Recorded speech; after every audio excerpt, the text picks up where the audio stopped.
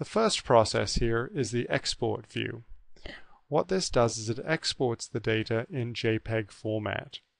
And you'll notice here that it's done without any geo information, so non-georeferenced data.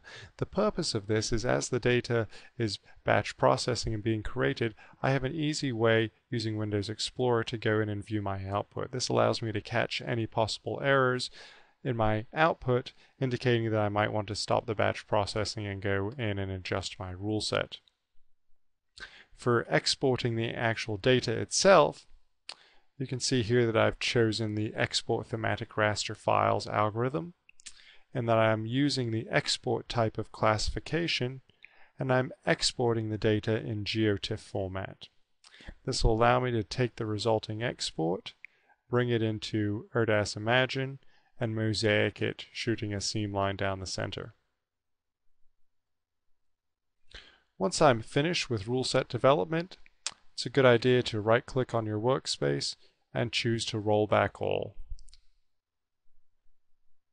I'm going to destroy the history and all the results, and as long as my rule set is saved and my customized import routine is saved, I can recreate these projects any, at any time. The rollback all routine simply clears out that workspace, gets rid of any intermediate data, any saved image layers in those projects, and sets all those projects back to their original state. Once again, I highly recommend doing this prior to executing your batch processing routine. Now I'm ready to begin the batch processing routine. In order to do batch processing in eCognition, you need to have at least one eCognition server license. In my particular configuration, I have eight eCognition server licenses. I'm running all of this locally on a workstation with 16 cores, and that means I can have eight cores processing it at any one time. To begin the processing, I'll want to right click on my workspace and choose Analyze. I'm running the job locally on this machine. I'm going to load the rule set I developed for this project, and then I simply click the Start button. The state for all of my projects turns to waiting. Once they've been sent to a core for processing, the cha state changes to processing, and once the processing is complete, the state will change to processed. In addition to viewing the status of our batch processing in the eCognition developer environment, we can also examine things within the eCognition job schedule, which will launch within a web browser.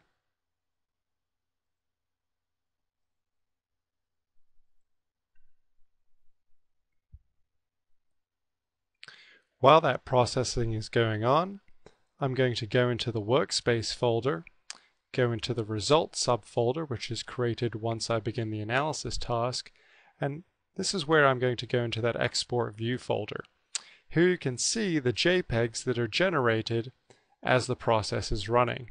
Once again, this is very handy because it provides me a quick and easy way to view the results of my classification process to identify any errors in my rule set so I can cancel the classification process and go back and make some adjustments.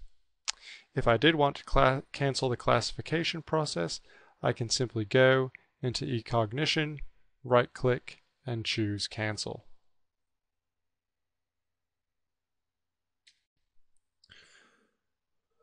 Once the processing is complete in the job schedule view, you'll see that the set is listed as done and with within eCognition Developer the state of all the projects changed to process.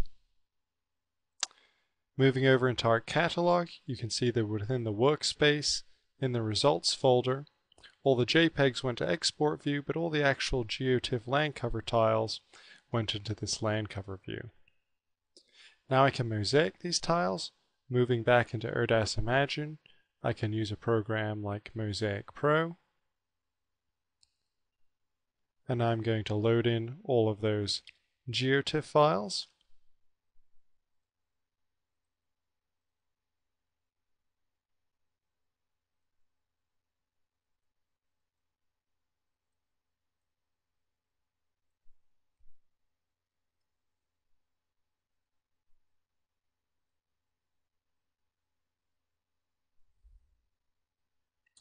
Once I've loaded in all the files, I can generate seam lines and I can generate a geometry based seam line which as you see here cuts all of those tiles directly down the middle and ideally we won't see any edge effects due to the fact that we had at least 10% overlap. I could then choose to run the mosaic option and create a seamless land cover dataset. That concludes this presentation. I hope it was informative. Just to keep in mind some resources that are out there. The eCognition community site is of course a great place to interact with other users and also to download sample rule set. You can read the blog we maintain at the Spatial Analysis Lab, Letters from the SAL, while we have more tutorials on using eCognition, including an in-depth video on using the customized import routine. And of course, if you feel the need to get some more information, my contact information is below.